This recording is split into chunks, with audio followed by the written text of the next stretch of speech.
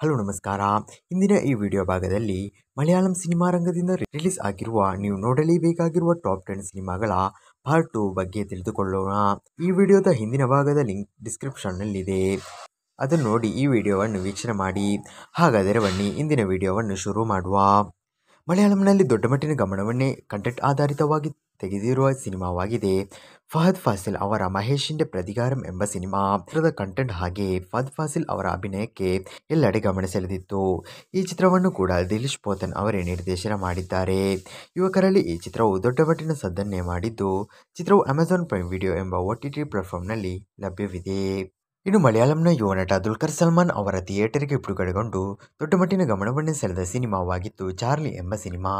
Karnataka box ಆಫೀಸಿನಲ್ಲೂ ಕೂಡ ಚಿತ್ರವು ದೊಡ್ಡ ಮಟ್ಟಿನ ಗಮನವನ್ನೇ ಸೆಳೆದಿತ್ತು. ಚಿತ್ರವು ಎರಡು ಸಾವಿರದ ಹದಿನೈದರಲ್ಲಿ ಥಿಯೇಟರ್ಗೆ ಬಿಡುಗಡೆಗೊಂಡಿತ್ತು. ಈ ಚಿತ್ರವು ಅಮೆಜಾನ್ ಪ್ರೈಮ್ ವಿಡಿಯೋ ಎಂಬ ಒ ಟಿ ಟಿ ಪ್ಲಾಟ್ಫಾರ್ಮ್ನಲ್ಲಿ ಲಭ್ಯವಿದೆ.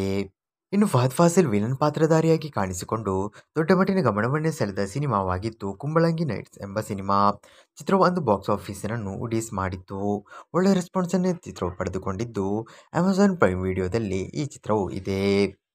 ಇನ್ನು ಮಲಯಾಳಂನಲ್ಲಿ ಅತ್ಯಂತ ಹೆಚ್ಚು ಕಲೆಕ್ಷನ್ ಮಾಡಿರುವ ಸಿನಿಮಾವಾಗಿದೆ. ಪೃಥ್ವಿರಾಜ್ ಸುಕುಮಾರನ್ ಅವರು ಮೊದಲ ಬಾರಿಗೆ ನಿರ್ದೇಶನ ಮಾಡಿದ್ದ ಲೂಸಿಫರ್ ಎಂಬ ಸಿನಿಮಾ.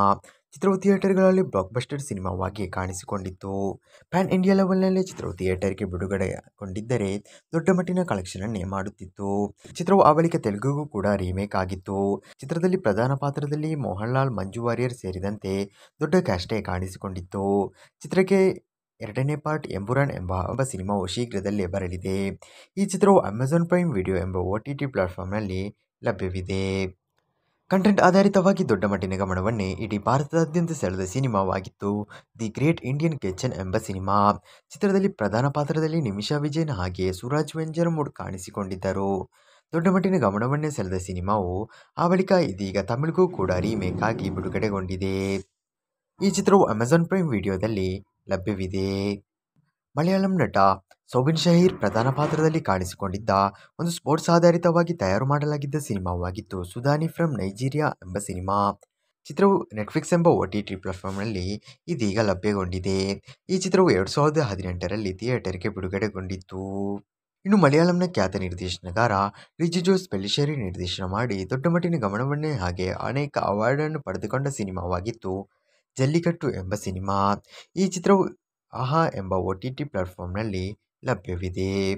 ಇನ್ನು ಮಲಯಾಳಂನ ಥಿಯೇಟರ್ಗೆ ಬಿಡುಗಡೆಗೊಂಡು ಕಂಟೆಂಟ್ ಆಧಾರಿತವಾಗಿ ದೊಡ್ಡ ಮಟ್ಟಿನ ಗಮನವನ್ನು ಸೆಳೆದ ಮತ್ತೊಂದು ಸಿನಿಮಾವಾಗಿದೆ, ಜೋಸೆಫ್ ಎಂಬ ಸಿನಿಮಾ.